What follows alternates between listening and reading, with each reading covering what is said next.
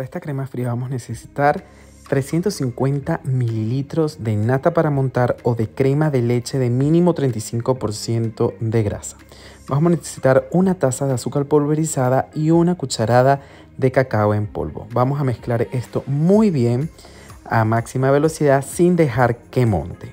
Vamos a hidratar un poco de gelatina sin sabor en una cucharada de agua y vamos a tenerla a temperatura ambiente para agregar a nuestra preparación anterior y ahí sí subirle toda la velocidad a la batidora hasta que la crema comience a montar.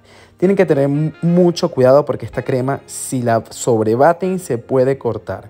Una vez que ustedes vean que ya la crema forma picos, dejen de batir por favor. La vamos a retirar, le agregamos cerezas y trocitos de chocolates y vamos a tener una crema fría totalmente firme y estable.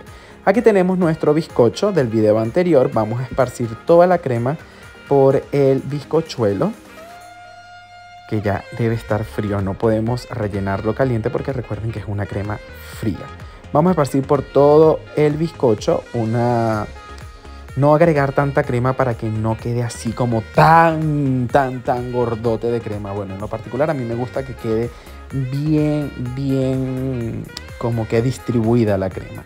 Una vez esté enrolladito lo vamos a agregar o envolver en papel film y lo vamos a llevar al congelador por media hora para luego recortar las puntas y terminar la decoración de este delicioso tronco de Navidad. Ustedes pueden decorarlo la parte superior con la misma receta o pueden hacer un ganache de chocolate como yo lo voy a decorar. Ya van a ver cómo yo lo voy a decorar. Queda delicioso. Miren lo que les digo de la crema, que queda uniforme con el bizcocho. Queda casi que el mismo grosor, no queda ni más bizcocho ni menos crema.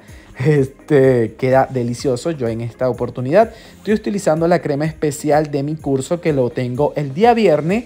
En la cajita de descripción le dejo el enlace directo para las personas que se quieren inscribir. Cuesta 20 dólares o euros.